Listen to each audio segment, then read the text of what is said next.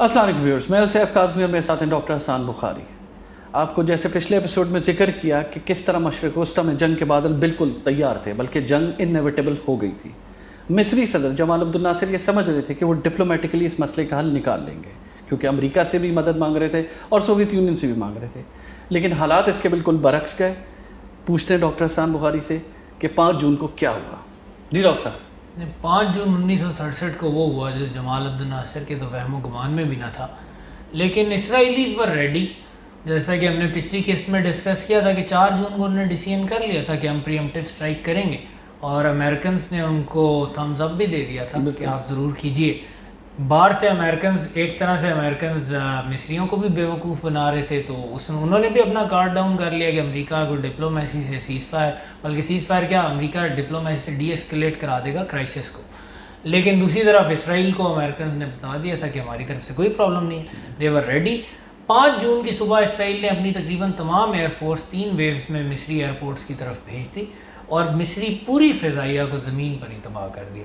300 से ऊपर मिस्री तैयारे तबाह कर दिए। सुबह 10 बजे तक मिस्री एयरफोर्स का नामो निशान मिट चुका था। इसराइल का टोटल नुकसान 19 तैयारे हुए। और मज़े की बात यह कि अरब आर्मीज़ और एयर फोर्सेस के कोऑर्डिनेशन की हालत थी कि मिस्र पर अटैक चल रहे हैं। इसराइली ऑलमोस्ट पूरी एयरफोर्स उन पर बम्बारी कर रही है। इसराइल के एयरपोर्ट्स खाली हैं। लेकिन इसराइल पर उर्दन और शाम की एयरफोर्स की तरफ़ से कोई रेड नहीं हुई। वो अपने एयरपोर्ट्स में उसी तरह बैठे रहे फाइन सनी मॉर्निंग इन्जॉय करते रहे।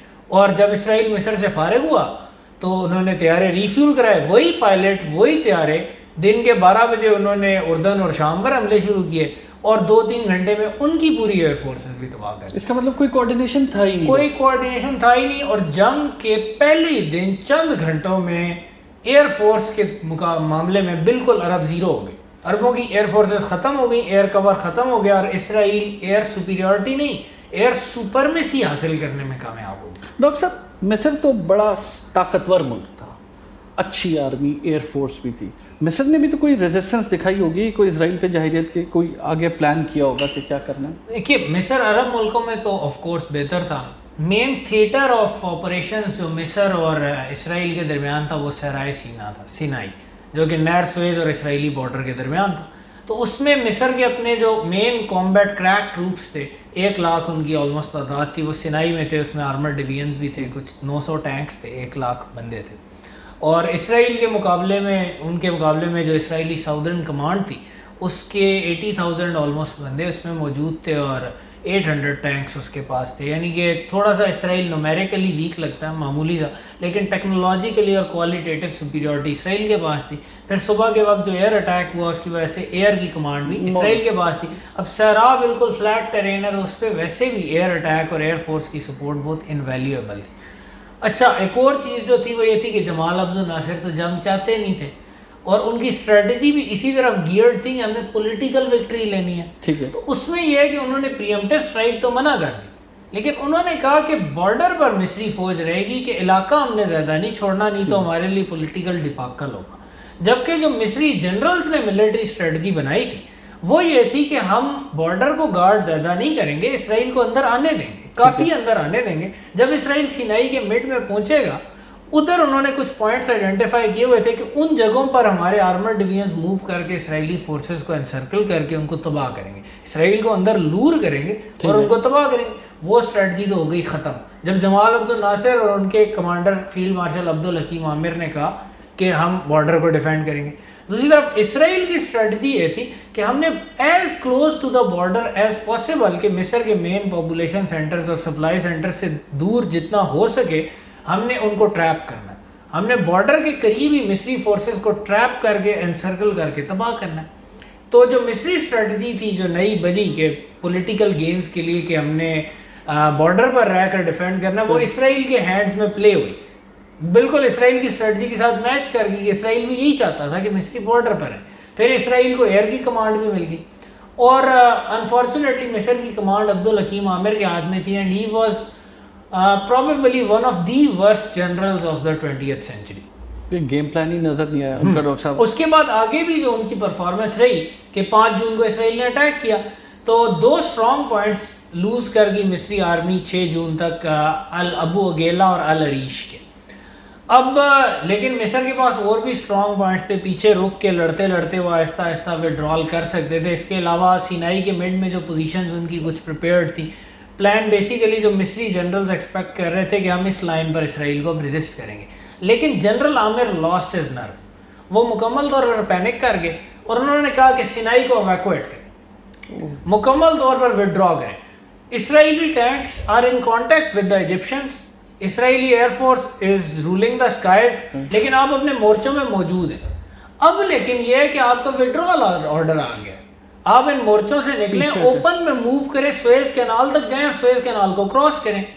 तो लेकिन Amer insisted on carrying out that order नतीजा ये हुआ कि इसराइल ने 9 जून तक पूरा सिनाई पर भी कब्जा कर लिया और ऑलमोस्ट मिस्री आर्मी तबाह हो गई। बर्बाद कर सारा इक्विपमेंट ऑलमोस्ट तबाह हो गया 900 टैंक्स में से 700 टैंक लूज हो गए और इसी तरह बाकी इक्विपमेंट तो ऑलमोस्ट सारा ही तबाह हो गया। और अगर हम मैन पावर लॉसेज की बात करें twenty thousand seventeen to twenty thousand casualties जबकि इसराइल की total casualties were around thirteen hundred और Israel lost I think about seventy tanks in all doctor साहब मिस्र को तो चारों शाने चित गिरा हाँ नौ जून को ही मिस्र ने हाथ खड़े कर दिए चार दिन बाद और उन्होंने कहा बस वी एक्सेप्ट मतलब सीज फायर सबसे बड़ी अरब पावर को उन्होंने चारों हाँ, शाने चित गिरा। इसराइल नहर फ़ेज़ तक पहुँच गया सिनाई पूरा उन्होंने कब्जा कर लिया और चारों शाने चित मिस्र नीचे। दो और भी महाज थे डॉक्टर साहब एक उर्दन का और एक शाम का। हम्म। इधर क्या हालात रहे डॉक्टर साहब? हाँ उर्दन के महाज पर यह हुआ कि उर्दन के महाज पर उर्दनी फौज की कारकर्दगी कुछ बेहतर रही। दो आर्मर्ड ब्रिगेड्स और आठ इन्फेंट्री ब्रिगेड्स तकरीबन 55,000 सोल्जर्स उर्दन के पास मौजूद थे। और उनके मुकाबले में इसराइल के पास तेरह ब्रिगेड्स थे। इसराइल ने अपनी फोर्सेस को कंसंट्रेट किया। कुछ फोर्सेस को शाम के महाज से हटाकर उर्दन की तरफ़ भेजा। अच्छा। और इन सारी फोर्सेस से उन्होंने फिफ्थ जून को उर्दन पर अटैक किया। लेकिन उर्दन में ये स्ट्रेटेजिक कन्फ्यूज़न कोई नहीं थी कि मिस्रियों ने तो 10 साल से एक प्लान बनाया हुआ था कि इसराइल को लूर करके मारेंगे। एक ऑफेंसिव प्लान भी बनाया हुआ उर्दन का बहुत सिंपल प्लान था। They only wanted to defend the West Bank and East यरूशलेम मस्जिद अक्सा जो था पक्का था उनका एम सिंपल था उनकी फोर्सेस उस एम पर मुकम्मल तौर पर रेडी थी और उर्दन की फोर्सेस बेहतर ट्रेंड भी थी। फिर जो वेस्ट बैंक है ना unlike the Sinai it's not that open तो इसराइली आर्मर्ड और एयर सुप्रीमेसी का भी जो इफ़ेक्ट सिनाई में डेवेस्टेटिंग इफ़ेक्ट नज़र आया उतना डेवेस्टेटिंग इफ़ेक्ट उर्दन के खिलाफ नहीं आया। तो उर्दनी परफॉर्मेंस कुछ बेहतर रही और इस फ्रंट पर जो लड़ाई हुई फाइव टू सेवन जून तक हुई और उसमें ऑलमोस्ट थ्री थाउज़ेंड कैजुअलिटीज दोनों साइड्स की हुई। कैजुअलिटीज बराबर हुई हाँ। लेकिन इलाका सारा इसराइल ने छीन लिया जो वो छीनना चाहते थे। वेस्ट बैंक भी ले लिया नाबलूस बैतुल्लाम रमल्ला के शहर भी ले लिए और पाँच से सात जून तक यरूशलेम में सख्त लड़ाई हुई।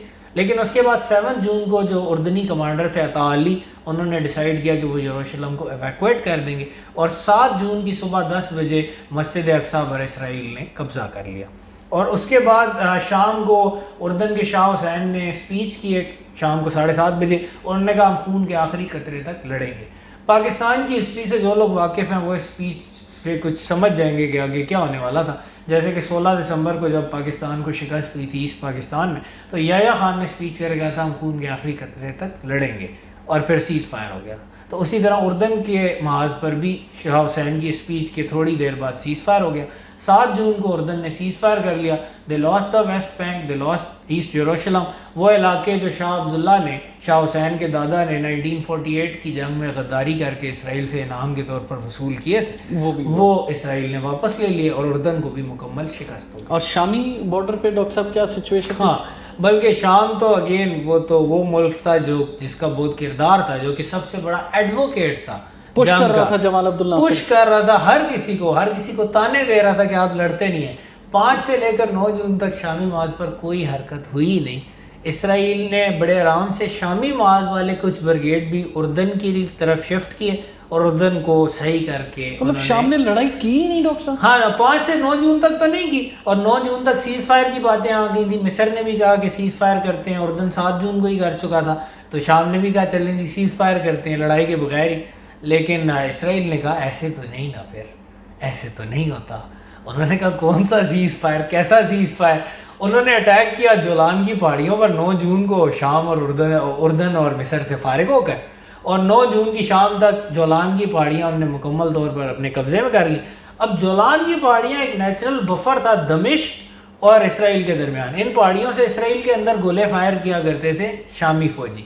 अब इन पहाड़ियों पर इसराइल का कब्जा हो गया और दमिश्क सीधे तरीके से अंडर थ्रेट आ गया। दमिश्क और इसराइल के दरमियान मेन नेचुरल बफर जोलान की पहाड़ियाँ थी। उन पर इसराइल ने आराम से कब्जा किया। शाम को इसराइल से तीन गुना कैजुअलिटीज़ बर्दाश्त करना पड़ी। उस सेक्शन में बुरी तरह शामी फौज शिकस्त खा गई। हालाँकि they were defending a very defensible area आप हाइट्स पर हैं। आपको साला साल मिले हैं बंकर्स बनाने के लिए और डिफेंसिव मोर्चे बनाने के लिए। लेकिन इसराइल ने उन्हें आसानी से शिकस्त दे दी और उनकी नाक सही ज़मीन में रगड़ी 10 जून तक। और फिर कमाल मेहरबानी से 10 जून को अपने तमाम वॉर एम्स अचीव करने के बाद सीज़ फायर एक्सेप्ट किया और शाम को कहा आपका जंग का शो का पूरा हो गया अब आप जो सीज़ फायर चाह रहे थे अब वो ले लीजिए। तो सब इसराइल ने ना सिर्फ़ अरब मुल्कों को धूल चटाई और उनके इलाकों पे भी कब्जा किया और भारी मिलिट्री और कैजुअलिटी जो ताकत हाँ। थी उसका वो किया लेकिन अरब इतिहाद के तो परखचे उड़ा दिए। अरब इतिहाद के परखचे उड़ा दिए और एक डिसाइसिव डिफीट हुई अरबों को। और वर्ल्ड वॉर टू के बाद जो चंद वॉर्स हैं, जिनमें बहुत डिसाइसिव रिजल्ट्स निकले, उनमें सबसे फार रीचिंग और डिसाइसिव रिज़ल्ट शायद सिक्स डे वॉर का हुआ। अगर आप ये चीज़ देखें कि टोटल छः दिन जंग चली। सिर्फ़ छः दिन के अंदर मशरक़ वस्ती का नक्शा ही बदल गया। Thank you thank you doctor साहब thank you so much viewers हम इस एपिसोड के बाद इन ताला डिस्कस करेंगे कि इस जंग के क्या असरात आए और उसका एक डिटेल एनालिसिस आपको करके बताएँगे कि इसके अंदर क्या महरक़ात थे जो इतनी ह्यूमिलेटिंग डिफीट का सामना करना पड़ा अरब वर्ल्ड को। देखते रहिए हिस्ट्रीज मिस्ट्रीज़ हमारे प्रोग्राम को लाइक करना सब्सक्राइब करना मत भूलिएगा। Thank you